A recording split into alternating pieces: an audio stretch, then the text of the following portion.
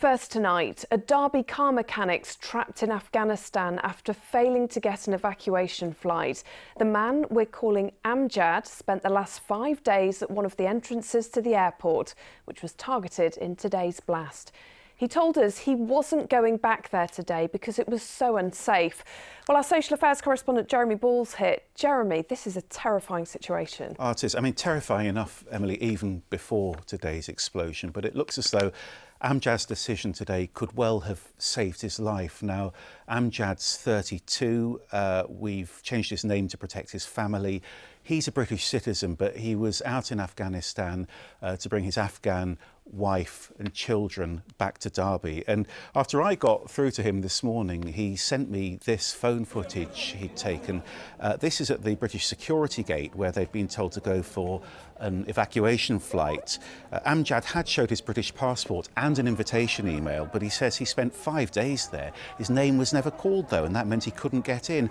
And Amjad says he's one of at least 30 Afghans with British citizenship who've been stuck at that gate for several days. And he also told me what happened yesterday when the Taliban told them to leave the airport. Suddenly they start uh, firing. Yeah, firing. Small kids, everyone is crying. I am run away. We are run away as well. We are very worried about it. It's horrible. Too much. Do you think you're going to make it back to Derby? No, uh, I don't think maybe gonna. Uh, I'm go back. You know, how can I not scared? This is a horrible moment. I want to save my children, but I can't. I try, try, try.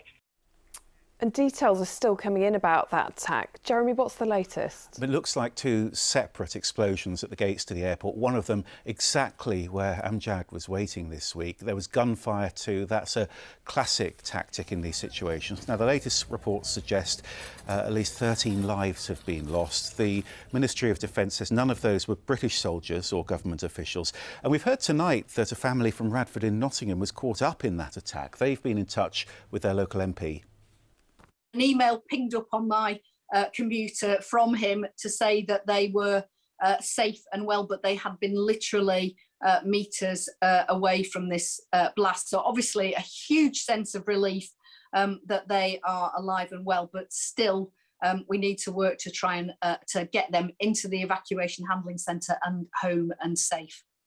Now, Lilian Greenwood also told me she's been in touch with two other Nottingham families who did make it into the airport today. A third family from Nottingham, uh, I heard, landed safely in Dubai this morning. And this evening, I texted Amjad, the man from Derby, to check that he's safe. Just within the last half hour or so, I've had a text back to say he had a lucky escape.